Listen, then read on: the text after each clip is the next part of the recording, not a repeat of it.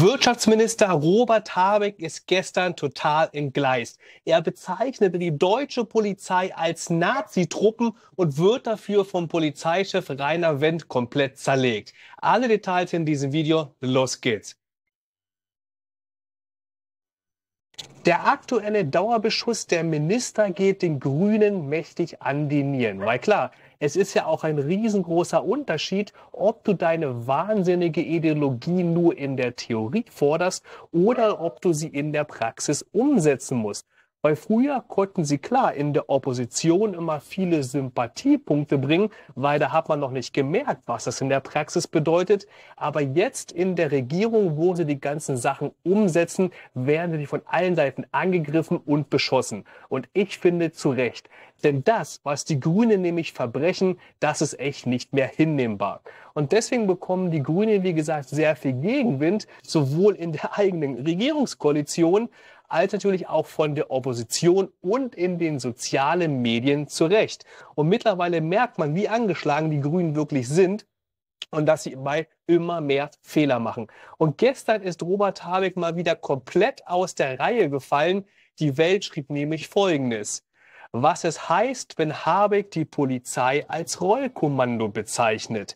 Am 14. Juni 23 sagte Habeck nämlich der Veranstaltung des Bundes Umwelt Naturschutz in Deutschland, die Kriminalisierung, wie sie es genannt haben, also Rollkommandos brechen in Wohnungen von Aktivisten ein, ist natürlich völlig absurd. Tja, und mit Rollkommandos meinte der Vizekanzler die von den Gerichten angeordneten Durchsuchungen in Wohnungen und Büros von den Klimaextremisten der letzten Generation.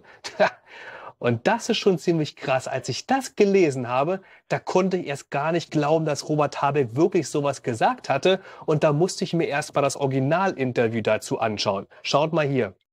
Die Kriminalisierung, wie Sie es genannt haben, also Rollkommandos brechen in Wohnungen von Aktivisten ein, das ist natürlich ähm, äh, völlig absurd.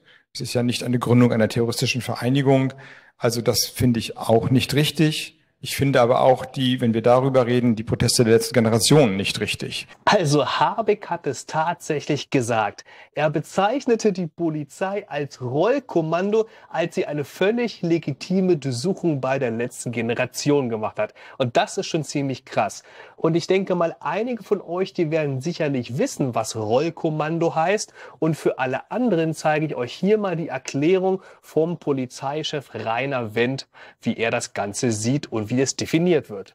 Mit Rollkommandos bezeichnet man Schlägerbanden von SA und SS, die in den besetzten Gebieten, die von den Nazis besetzt waren, die Bevölkerung unterdrückt haben. Und das vergleicht ein Vizekanzler mit dieser Polizei, die eine über 70-jährige demokratische Tradition mittlerweile hat und die da über jeden Zweifel erhaben ist.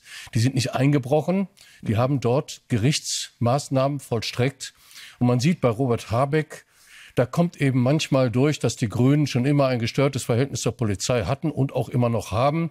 Wenn er da im Kreise seiner Gesinnungsgenossen sitzt, dann geht's, ist der ganze Staatsmann, er gibt sich ja gerne als Staatsmann und äh, als, äh, als Minister und Vizekanzler. Aber da kommt dann doch die alte Steinewerfer-Mentalität der Grünen durch, die mit der Polizei schlichtweg nichts anfangen können. Robert Habeck sollte sich jetzt mal wirklich, und zwar schleunigst, bei der Polizei entschuldigen.